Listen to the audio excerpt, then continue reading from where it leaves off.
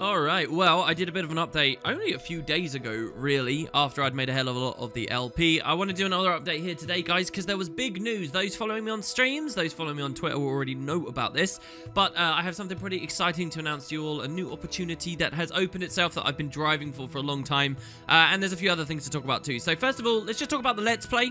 I don't really know what to say that won't sound somehow fake or shoehorned in, but I'm truly blown away at how much everybody seems to have warmed to it. You would have thought that it would be a bit scary doing a project like that because it's old content, it's 2012. I've hell, I've even done exactly that once upon a time as a failed thing that most people have been asking me for, and yet uh, everybody seems to be really excited about it. I did a lot on that series, as you guys will notice, to really try and make it feel fresh and new again. So like most veteran players, most videos you'll watch, most streams you'll watch, most of my stuff you'll watch, everybody plays with like maxed out field of view. Like the FOV slider is always as high as possible so we get as much peripheral vision as possible. And uh, that's good as a gamer and as a player, but it doesn't really give you a lot of the smaller scale perspective and um, appearances. People always have the camera zoomed out as much as possible as well. You'll notice throughout the LP, I'm really trying to bring it back to like what it was at launch, where everything's a bit slower pace and we're okay to have a narrower field of view and we're looking a bit more detailed. And I think that's really paid off. People are actually really enjoying it, so that's great. And I just wanted to say thank you all. Thank you all to the support. I hope that it sustains. The thing with gameplay series like that is like you'll have a nice opening and then everyone kind of gets bored of it over time. And that's fine. And I don't judge people for that. I do that when I watch LPs myself on YouTube. But uh, the question on my mind now is like where will actually sustain at, say, uh, three weeks down the road, how many people are still tuning in on the, the daily episodes as they come out. But it's great, and I really am blown away, and I just wanted to thank everyone for uh, all the wonderful feedback and just sort of warm reception to it. The one thing I've noticed a lot of you guys uh, might not like, if there have been complaints about the series, and there aren't really, but if there are some complaints, it's on one thing, and that's that I'm really going back to basics and I'm explaining everything. I'm like explaining what a waypoint is. I'm explaining what specializations are. I'm talking about my builds. You haven't even seen it in the episodes just yet, but there'll be long chunks of the LP where I talk about like what a minor trait is versus a major trait and what grandmasters are and all, you know, what runes are, what sigils are. All those discussions are and will be in the series. And if I've had any negative feedback, it's people saying, hey, this is boring. I don't like watching this. To those guys, I understand that. That's perfectly valid. Uh, but I'm going to do it anyway. Uh, frankly, I want this series to be the equivalent of my GW1 series in that someone totally new and outside to Guild Wars can come in, watch it, and they'll understand everything about the game. I have a lot of gripes with Core Tyria, and the way it tutorializes the player base is one of my biggest ones. The game doesn't teach people very well what sigils and runes and things are, how this stuff works. So I want my LP to pick up the slack where the game itself has no ambition to. Uh, and what that means is, frankly, most of you guys listening to me right now and watching this video, you already know that stuff. You're not interested in hearing that. It's going to bore you, but you're kind of not my demo. And that's the risk I'm taking, right, that I mentioned before. And so I get it. There will be a lot more comments like that as time goes forward. People will say, oh, God, can you stop explaining all this stuff? But uh, it's kind of what I want the series to be. And uh, as it goes along, right, it's going to be a lot of episodes. By the time we're like 30, 40 episodes in, that stuff will be gone, right? And the rest of it will be smooth sailing and we'll all be caught up. But I do feel like those explanations need to be in there at least once for, you know, uh, random Joe Bloggs that might watch this series in 2021 and he doesn't know anything about Guild Wars. I'm doing it for Joe. I'm not doing it for probably you guys listening to me right now. But anyway, uh, yeah, that's great. And I just wanted to say thank you, everyone. And I hope that um, you continue to enjoy watching it. They're really, really, really fun to make, I have to say. And uh, I'm going to keep churning them out nice and quick. Uh, also, another note, as a disclaimer I gave before, the LPs are not replacing other videos like this one or videos on other aspects of Guild Wars. Uh, so let's talk about that. That's the next thing I want to get into. Uh, I wanted to do a video on a new forum initiative that ArenaNet are doing called the AFCs. I have mentioned this already. Uh, if you've been out of the loop, though, you know how they do the big Reddit developer celebrations, the AMAs, where they're doing equivalent ones monthly over on the forums. Uh, and the idea is that they'll talk about like some contemporary patch, right? So the first AFC did come out on the forums. Um, and I wanted to do a video. Like, why wouldn't I do a video? It should be just like doing the AMAs. But honestly, guys, it's not very good. I'm pretty disappointed with the AFC. Now, I don't want to make a whole video purely saying that, Uh, but it's like they didn't really pick too many interesting questions. I don't think the community asked too many interesting questions. The quantity was a lot lower than I expected. It seemed like, okay, there were a few devs that really deep dived into it, and there are some incredible responses, uh, particularly some of the walls of text delivered by one of the devs, Jessica Price. Oh my god, she does amazing. She's like a god walking amongst mere mortals. It's incredible. Uh, and there are some good contributions from the devs in there, but overall, is it meaty enough for me to do a video on all on its own? I'm not sure. I'll leave a link in the description if you guys want to go check that AFC out, but I'm not sure how I want to deliver that to you right now because it was a lot less interesting than I was hoping. There is another thing that I missed as well, though, and that's Guild Chat. Uh, apparently, there have been some really cool insights from Guild Chat, the ArenaNet live streams. I find myself constantly missing those. So, if you see like a newsy type video, you might find that I do an AFC Guild Chat recap, sum up thing rolled into one. I might start working on that tomorrow morning, actually. So, that's basically what's going on there, and I just wanted to let you guys know that the AFC did happen, and that's kind of what I'm thinking about right now. I'm curious, what did you guys make of the AFC? Did you forget about it? I wonder if it's because most people forgot about it. Hmm. Well, anyway, so there you go. Um, now, let's get into the uh, the big news, the big thing that I really want to talk about here today uh, that people on Twitter will have already seen. So, if you guys know this about me, for the past, especially year, but before that as well, frankly, uh, I have wanted to read the Guild Wars 2 novels. So, there are three novels. There's Ghost of Ascalon, which is set just before the core game. There's um, Edge of Destiny, which uh, is set five years before the core game, and then there's Sea of Sorrows, which is set like a hundred years before the core game. All right, three novels, three separate stories. They're all really interesting windows and insights into Tyria. Two of the novels came out before the game itself. The third one came out after the game itself. They're different authors that write them. They're fascinating. They're really good. Um, I've read all of them, but I didn't finish one of them. But I'm really excited about these uh, novels. Every time I consider, hey, I want to read them privately, uh, and sort of re-immerse myself into Guild Wars, uh, I think to myself, wouldn't it be cool to be able to read them out online? And you guys know I have a passion for, uh, to a very lesser extent, voice acting, but delivering that kind of stuff. Those who are sub to one of my other channels, Concrete Ducks, will know I was and still am enthusiastic about that stuff. Uh, and so I've basically been pressuring and pushing ArenaNet and NCSoft for a long time. Hey, can I get permission to read the books? Can I get permission to read the books? Essentially, I want to read them and deliver them to you on YouTube. Like, even maybe commentate on them, Let's Play style, but the books themselves. This is something I'm really excited about. I know it might sound really dry and bland and boring to you guys, but the way that a book can express this universe, this setting, this fantasy world, versus how a video game can, is amazing. I mean, I'm sure we've all got experiences of having read a series of novels and then seeing the film adaptation. It's kind of similar with Guild Wars. The novels give you this really rich, imagination-fueled version of Tyria that the game will never be able to reach. And there's real talent that's gone into these books, and there's really good stuff to draw out from them. And I want to share that with you all. I'm a fan. I'm a huge nerd of this franchise. I want to share it with you all. So I've been pushing and pushing and pushing, but there are problems with this. I'm not the first person to have had this dream, this dream of reading the books. Um, other people have done it and they've just winged it and put it online. But here's the thing. It's not really like if you if you read the book out loud online, it's not necessarily a transformative work.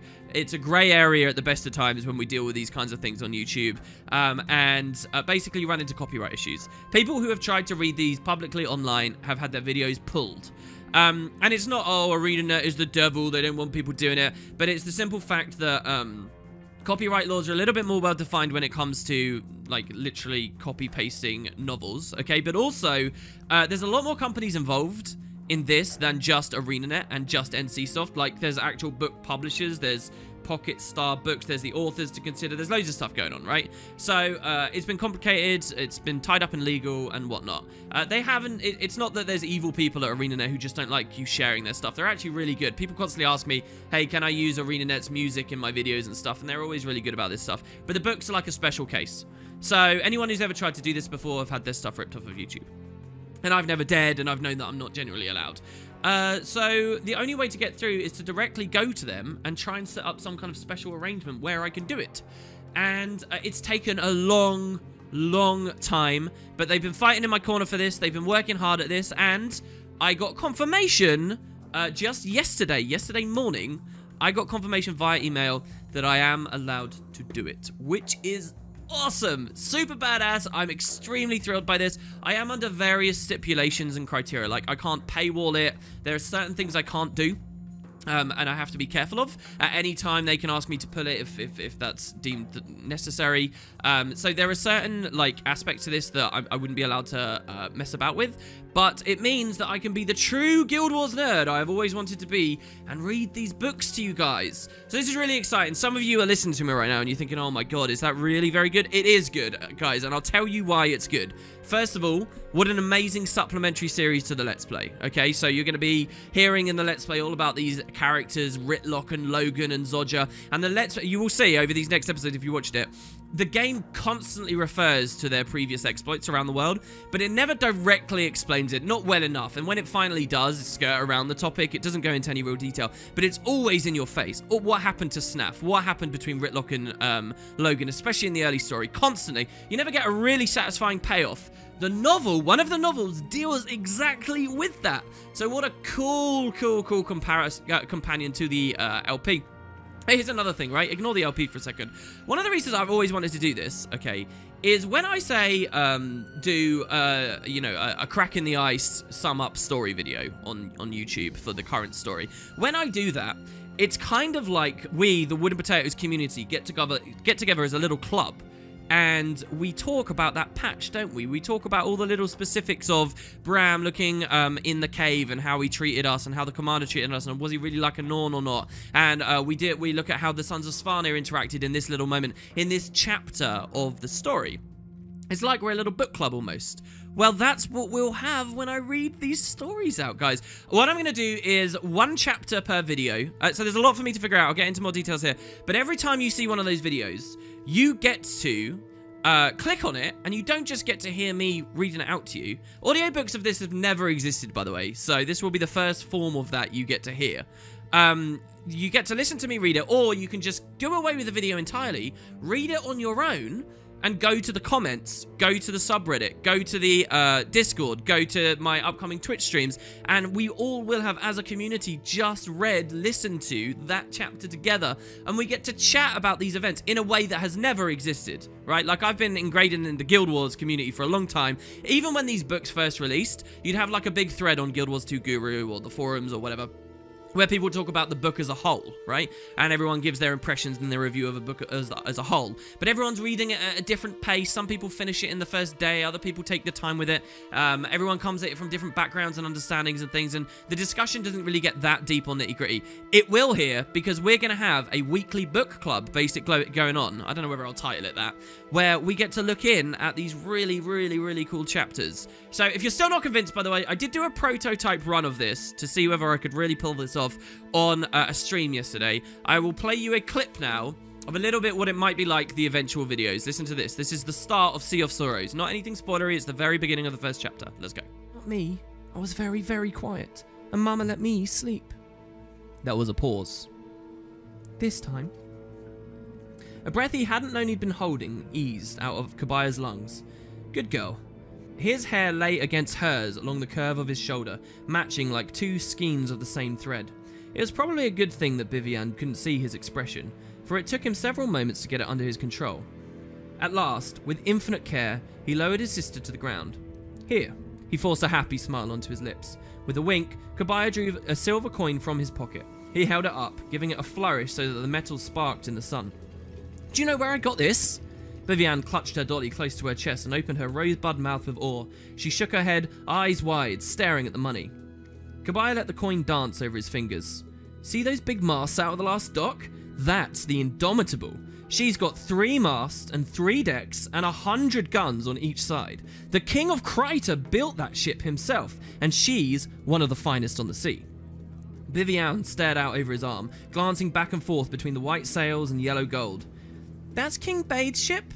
His biggest one. And it's a sight to see. It could fit a hundred soldiers in it, and it would still have room for 15 houses, a thousand cats. He smiled to see her mouth purse into a little O of astonishment. And Paula, too.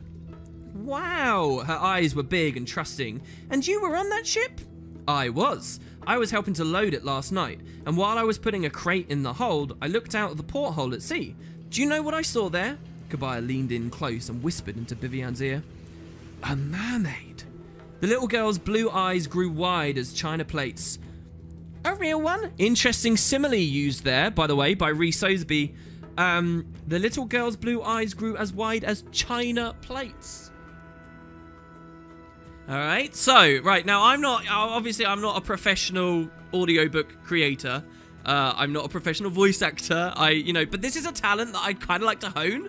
So this will be really cool. This will be a learning experience for me as I go through, as I get better as we go through all of this subject material, and we get to really dive a lot deeper into Tyria. I think you guys will find that uh, you have a lot more fun out of the lore and the world building here. So, uh, so yeah, I'm really excited about this. This is going to be going on as well, in addition to the LP. It's just been thrust upon me, but I definitely want to take advantage of it nice and quick. So, there's a lot of questions on how uh, I actually handle this that I still don't have answered. Like, what kind of footage do I want in the background? Someone tweeted me um, just this morning and said, hey, can you do um, uh, captions. So they're basically asking me to translate the three books and make sure captions are stuff like that. I've got to figure out like exactly what format I want to do. But these are the things I'm settled on. Okay.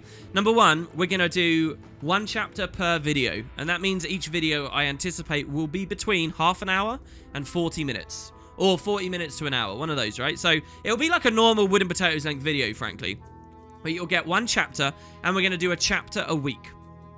Okay, so we'll go through like that. Now, here's the funny thing.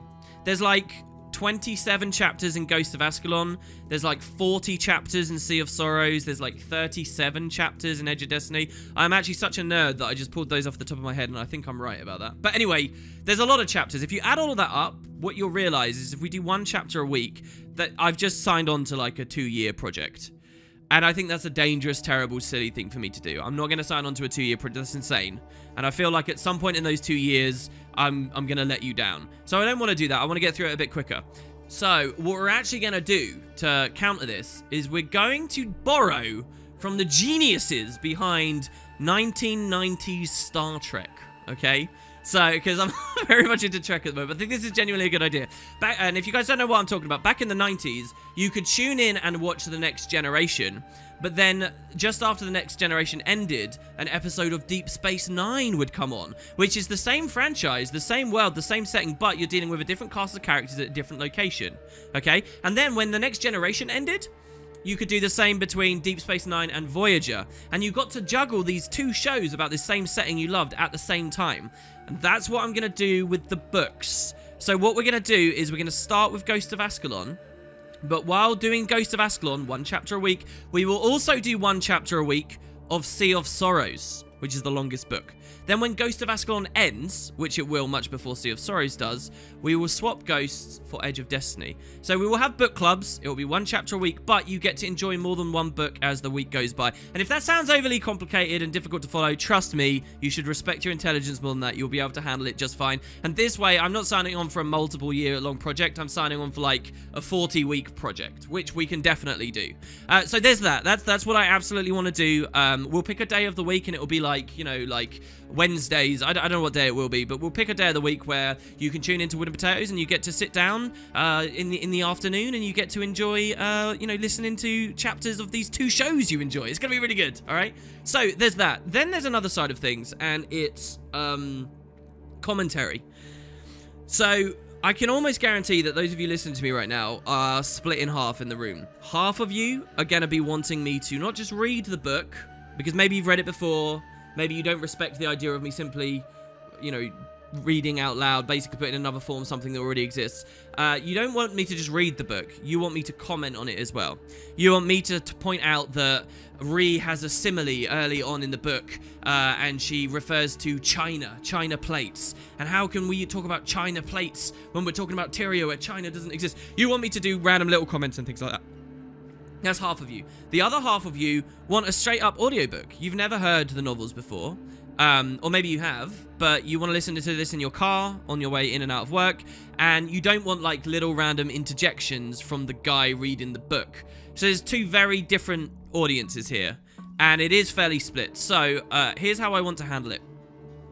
I'm going to do the actual video itself that you watch will have no fluffy commentary around it. It won't have, hi guys, welcome to another video, blah, blah, blah stuff, and cool, that was awesome, let's see you next time. It won't have that. It will be raw, professional, audiobook style um, audio that runs through a chapter, okay? And it says chapter one, blah, blah, blah, and we go through. However, however, however, however, we can have our cake and eat it too. Some of you might remember about a year ago, I did an event where we uh, got 150 people to map cap Queensdale and we got them all on new free-to-play accounts. We got them all in original starter gear, all on new characters, and we ran out throughout Queensdale and um, we recorded it. And I made a video where I had just the raw audio on there. I didn't have anything else. I didn't have any commentary. I just wanted to pro pro provide a rich, pure, raw experience of what Queensdale is like back at launch, essentially.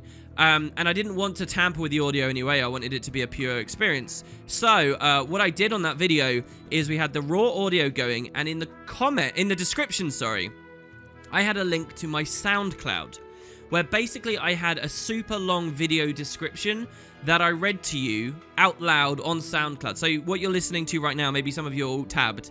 It was this experience of just listening to my voice as I described the video, but it was separate to the video itself okay? That format, that structure, I actually really like and I haven't utilized very much. We will do it for this project. So here to sum it all up, you're going to click the video. It will be, the video itself will be some pretty background. It will be some ambient noise. It will be the chapters, the stories. But then if you want extra commentary, if you want my thoughts on the chapter itself, you want my book club impressions, in the description, you just click a link and it's like you've been sent to another video where you can just hear me chatting about the chapter itself. And uh, I give you my feedback and my thoughts and my impressions just after I've read it. So that way, we get to have our cake and eat it too. You can get the commentary stuff, you get the book club, then also you get the whole community's reaction and discussion about that chapter too and uh, we get that. So one chapter a week, and then once you've enjoyed hearing the adventures of Dougal in Ghosts of Ascalon as he plunders the Ascalon catacombs, half an hour later, episode the next episode comes on, and we're hanging out with Cobiah Marriner in the Sea of Sorrows, or, or whatever is going on at the time. It's gonna be great, guys. So that's the idea um, and uh, yeah, I'm really, really excited. It will be a great compliment to the LP. And there you go. That's that's the update, really. That's what's uh, happening. That's the, the tidal wave of new fun stuff that hit me uh, this morning. And now I just basically need to get to work, iron a couple more things out, and that's it.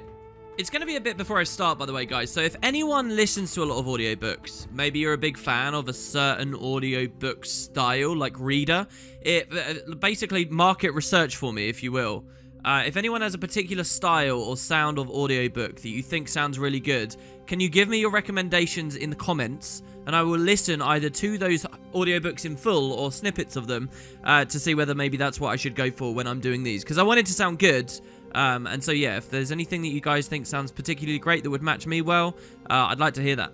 This update video isn't over, though. Two more things I want to talk about. Number one is still related to the novels. um, so like I say, I'm not particularly a talented guy. And uh, Sea of Sorrows has uh, something kind of interesting as a part of it. It has a song. It has a sea shanty that is delivered and sung at various parts of the book. Now, I'm, I'm, I'm seeking to hone my talents in some respects, but one thing I think I'm very far away from is being a musician, being an artist. So I don't actually know how best, while I'm reading these novels, to take that song and make it sound good. So we had a fun idea yesterday on the stream that I thought I'd roll with. Uh, I decided to make a competition out of it. So I'm offering a bounty to the community here to actually turn these lyrics that we have in the book into a song. So here you can see it on screen. Um, I've got a bounty. Uh, there's a link to this in the description if you guys want to see it. I'm offering 800 gems to one of you. Any of you could win these 800 gems. Easy, easy 800 gems. Fun to make as well. Uh, sea of Sorrows features a song fairly prominently as the chapters progress. It only exists in text form, however, and here's how it reads. Yeah, so like, because there's never actually been an audio book, because Ree has never sang the song, the author of the book, Ree Soesbee, she's never sang the song. We as a community don't actually know how this should sound, right? But we have the text of it. It's called Weather the Storm, it's a Tyrian sea shanty, and it reads, You don't know the storm till you ride the wind, beneath the cold and blackened skies, oh, till you're sailing through a thunderhead with the lightning in your eyes. Death, he laughs, the sails and the jags, and the bloody sun went riso. And it goes on, right? So it's it's not a very long song, but it's a sea shanty. I don't know how this is supposed to sound. So this bounty is for you to translate this into an actual tune. Uh, so note, you don't need to be good at singing or a particularly talented musician. You really don't. Just act as an artist and turn these words into a melody that sounds good and the reward is yours. And then what I'll do is whoever wins the competition, I will then emulate like the, the tune that they have created when I read the novel, if that makes sense. Uh, because I think it will sound really boring if when I'm doing this project, I just bluntly read it out. I do. It's supposed to be a song, right? So let's make it a song. So this could be kind of fun to see. Uh, maybe no one will submit for this prize, and this is just a waste of time. But I thought I'd throw it up just in case anybody wants to try. Um, in the event that multiple people submit something, uh, I will listen to them on stream and I'll select the one that uh, we as a community think sounds best. Uh, and yeah, you can. It's very easy to submit. You can just make the song, or you know, sing it out however you think it should sound in a good way. How does a sea shanty sound? That's up to you to interpret. And uh, just, just then give it to me, right? It can be a YouTube video, it can be on your SoundCloud, it can be a Twitch VOD, it can be direct download from a Google Drive, whatever. Just let me hear the audio, and then yeah, we'll do that. Uh, two notes as well. If you do something really professional and you're interested in it, we could just use your exceptionally good rendition of the shanty in the book themselves. I could just edit it in. As long as it sounds really good and professional, who knows? And then also note, if there is any information out there at all from how Ree Soesbee, the author, intended this to sound, or if you can get that information from her, then you'll pretty much just automatically win and we'll go with the author's intent, right? Uh, deadline for this bounty is in 14 days, so two weeks. I want to start reading these. I want to get this underway. So um, I'll give you two weeks to submit it, and I'll be working on Ghost of Ascalon in the meantime. So April 3rd. April 3rd is your deadline. I also have another little thing here as well, by the way. I don't remember what other songs, chants, or poems that the novels contain, so it's been quite a few years since I read them. Uh, if anyone puts in the legwork to point out any other songs, so we could do other competitions as they get closer, as the other chapters come along, or potential roadblocks we might hit, then you can get 400 gems yourself. If you've just read the books, if you know more of that, give me the information. Literally, just type to me, Reddit, twi uh, Twitter message, Discord message, anything. I'll give you 400 gems. Pretty simple. And there's no deadline for that bounty, obviously. So there you go. Uh, that's uh, that that's the situation, guys. Really. So that's one. And then finally, to end this update video off, just uh, so that you guys know, I haven't advertised it at all for the past three weeks now. I've been doing almost daily PvP commentary, casted videos on various PvP builds because I'm loving PvP at the moment. Conquest is a lot of fun. Most of you listening to me talking to this won't be interested at all, but trust me, it's a pretty good series, and um, basically everyone who's watching it on Wooden Potatoes 2 is hating that I'm not advertising it on my main channel. So here it is, guys. Everybody says it's good. Go watch it. Tell me what you think, and uh, we'll see how it goes. That's, that's going up all the time. In fact, I just posted one of those videos just before I'm making this one here, and you probably didn't even know about it. So there you go, guys. Again, returning to the start, thank you very much for all the lovely feedback with the LP. I'm really excited to have so many projects and fun things going on, and um, I hope to continue delivering for you all. It's really invigorating. Thanks, everybody. I hope you enjoy, and I'll see you soon.